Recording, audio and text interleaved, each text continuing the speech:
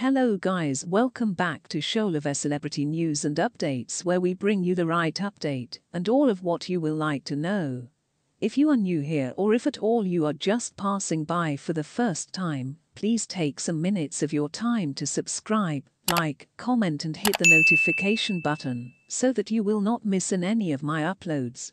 2023 French Open finalist Karolina Muchova is finally ready to return to the court as the 27-year-old Czech returns to the Eastbourne courts after surgery next week. Muchova, who reached her first Grand Slam final last year and also reached a career-high ranking of world number 8, suffered an unfortunate wrist injury on her way to the 2023 US Open semi-finals.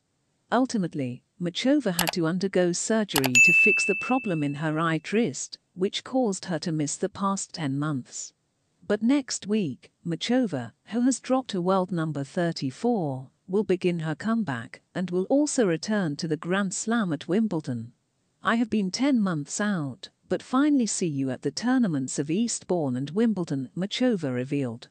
After the US Open in 2023, Muchova is still hopeful that a short break will help with her wrist problem. But Muchova then missed the rest of 2023, as well as the start of the 2024 season. Then in February, after months of recovery, Muchova delivered a devastating news by revealing that doctors said surgery was the only option to fix her wrist injury. After the wrist upgrade was completed, the rehab challenge was accepted, Muchova announced in February. Following my injury at the US Open and an extensive rehabilitation phase, it turned out that a medical intervention was necessary.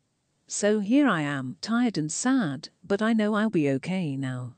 The surgery was successful and I'm gonna do all I can to see you on the court again soon. Before Muchova got injured, she was playing the best tennis of her career and achieving some of her best results. Given Muchova's long absence from the courts, it's hard to expect her to start achieving great results right away, but maintaining her health and gradually improving her form will be a success. Thank you for watching to the end. If you have something to tell us about this video leave your comment on the comment section below. Your comments matters a lot.